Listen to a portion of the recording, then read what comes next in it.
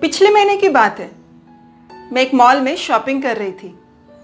मेरी almost shopping हो चुकी थी और मैं बिलिंग काउंटर की तरफ़ जा रही थी कि तभी मेरी नज़र श्वेता पर पड़ी।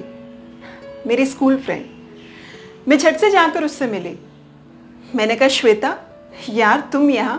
व्हाट ए सरप्राइज़ हम इतने सालों बाद मिल रहे थे और वो भी शॉपिंग करते हुए। स्कूल में हम सिर्फ़ क्लासमेट्स नहीं थे, बल्कि बहुत अच्छे दोस्त हुआ करते थे। और हमने इतनी क्लासेस एक साथ बंक करी थी कि क्या बताऊँ? अब इतने सालों बाद मिल रहे थे तो हमारी बातें शुरू हो गई। हम दोनों ने फटाफट से बिलिंग कराई और सामने वाले कैफ़े में जाकर अपना अड्डा जमा लिया। अब तो जैसे सारी स्कूल की बातें याद कर करके हम स्कूल डेज़ में ही पहुँच गए थे।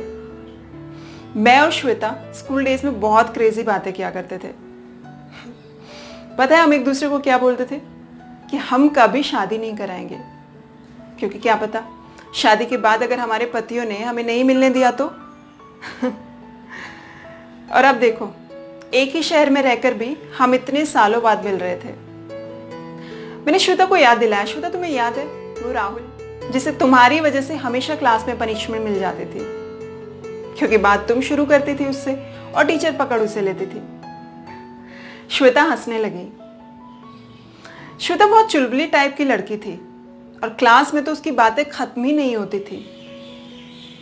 लेकिन आज जब मैं उससे मिली तो मुझे एक चीज़ बड़ी अजीब सी लगी। वो मुझसे बातें कर रही थी, लेकिन फिर भी कुछ चुप चुप सी लग रही थी। मैंने तो बोल दिया, मैंने कहा, श्वेता, जब से मिले हैं, मैं ही बकबक किए जा रही हूँ, तुम तो ज़्यादा बात ही नहीं कर रही। और स्कूल में तो तुम चुप होने का नाम ही नहीं लेती थी। उसने मेरी इस बात का कोई जवाब नहीं दिया। खैर, मैंने भी बात टालने के लिए उससे पूछा। अच्छा ये बताओ, तुम्हारे हस्बैंड क्या करते हैं? उसने कहा इंजीनियर है, काफ़ी बड़ी पोस्ट पर है। सुनकर मुझे खुशी हुई कि चलो, लड़की अच्छी जगह सेटल हुई है। लेकिन जब मैंने उसकी आँखों में देखा तो मुझे एक अजीब सी उदासी दिखी। और मैं काफ़ी टाइम से नोटिस भी कर रही थी कि जैसे ही मैं उससे कोई शादी से रिलेटेड बात करती ना तो उसकी आवाज़ में एक अजीब सा भारीपन आ जाता। मैंने हिम्मत करके पूछ ही लिया। मैंने कहा, श्वेता, एक बात बताओ, तुम खुश तो हो ना? नहीं मतलब मैं काफ़ी देर से देख रही हूँ, जैसे ही शादी की कोई बात होती तो तुम थोड़ी उदास सी हो जाती हो। वो मुस्कुरा दी और बोली कि, नहीं यार, ऐसी कोई बात नहीं है। पर मैं समझ चुकी थी कि कुछ तो बात है।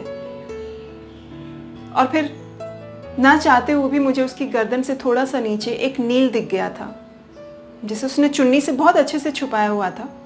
लेकिन जब उसका फ़ोन नीचे गिरा और वो उसे उठाने के लिए झुकी तो वो नील मुझे दिख गया।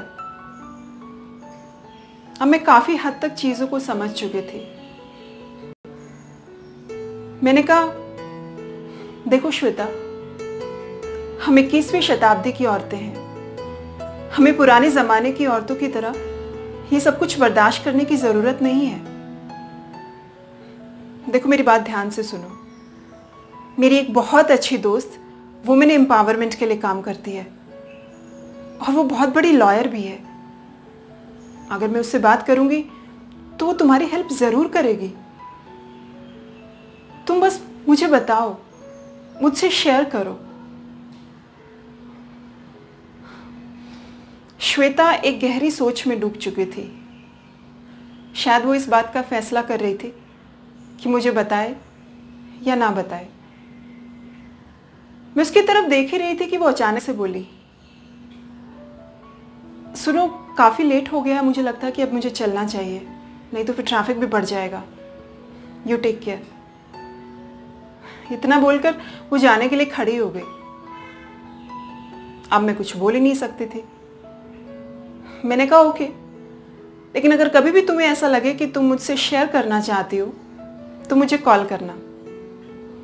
मैंने उसे अपना कार्ड देने के लिए अपने पर्स में हाथ डाला और कार्ड निकालकर जैसे ही नज़र उठाकर ऊपर देखा तो वो जा चुकी थी। बिना मेरा नंबर लिए, बिना मुझे अपना नंबर दिए।